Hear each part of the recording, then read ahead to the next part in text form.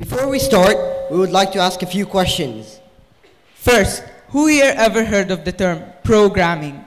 And who knows how to program? Under 18, please. So we've been looking at a Khartoum as a city, and how many of the youth program? We didn't find a lot. In this research, we didn't actually count the university students who actually studied that. We're looking for teenagers, youth. So then, what is programming? Programming is basically the computer's language, what the computer knows and understands. I'm standing in front of you speaking in English. There are different languages around the world. Same for the computers. So then you learn these languages and put them into the computer, which turns them into commands that the that understands. So you're gonna ask me, it's hard to learn this and you have to be so-called uh, Nerd or a geek? Well, we are nerds and geeks, but not all of us.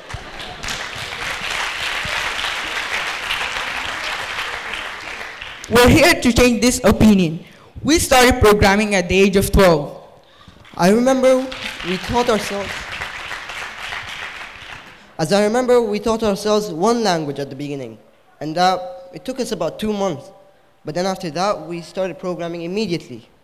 It took us five hours at the beginning to design this application. It's basically a flashlight application with one button. It says, uh, on and off. Anybody can program. You don't need to be a doctor to program. You need, don't need to be anybody. You can just go out and program. You can learn, it's easy. And from my own experience, I'll tell you why programming is special to me. When I start programming, I design and make what I think of, what application I wanted on my phone, anything. I can make my own website, for example. I can do whatever I want. And then when you choose to program, you go to your family and friends, you tell them that. Then the, their opinion, you go like, why would you want to be a programmer?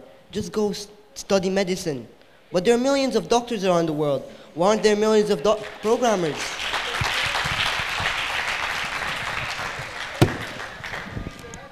So as you see, every day, technology is growing. So as programmers. There are different gadgets day by day, but now we're going to talk to you about a figure, a famous person that most of you here knows.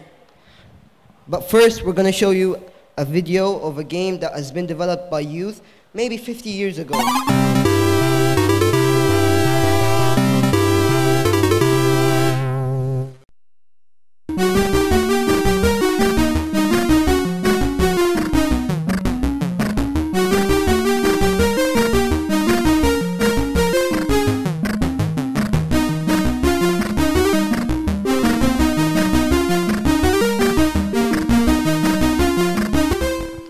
See, this application was designed by a teenage boy about the 50s or the, yeah, exactly, uh, uh, 1950s. This application was famous back then. So now we're going to talk about someone who started programming from a really young age. Most of you know him already. He's Bill Gates, the creator and co-founder of Microsoft.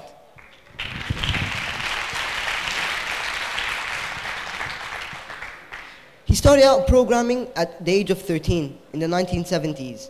As you remember, the computers weren't as fancy as we have them right now.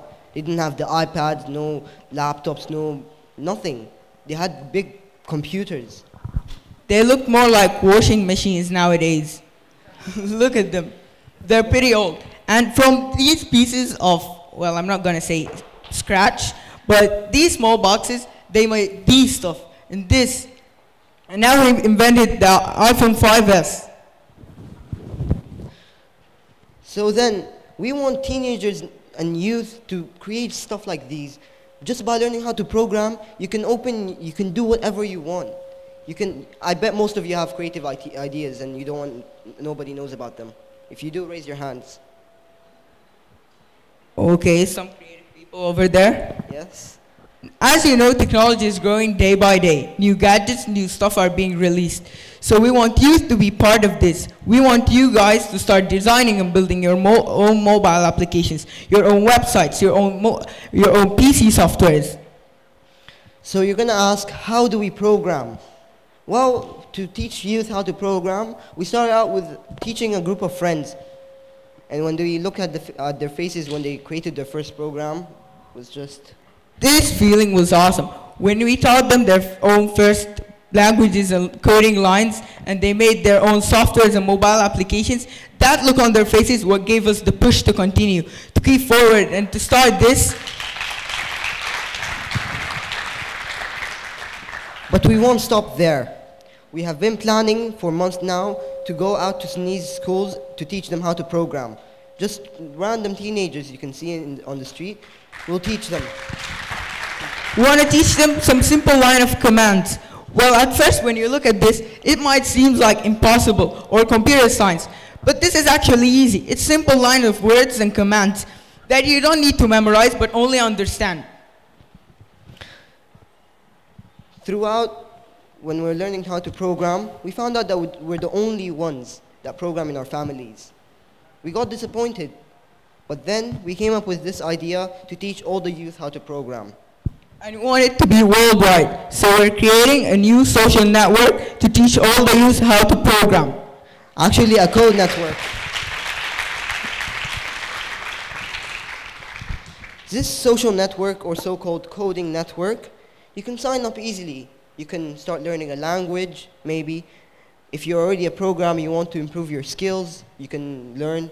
If you, if you have any problems, because when we started out, it was hard and we had all these bugs, problems in our programs. So then we wanted everybody to not face these problems and have it easy.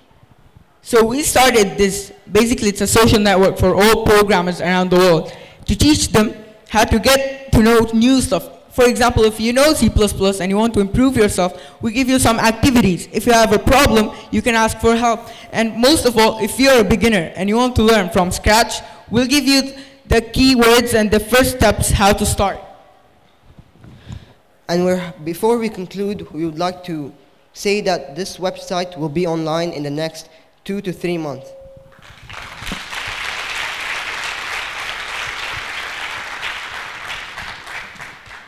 And last but not least, we want you, we want the youth to be more specific, to be the change, to learn new stuff, to interact with technology, not to be a step back of the world. We all can program. You don't need a degree, certificate, you go to certain universities.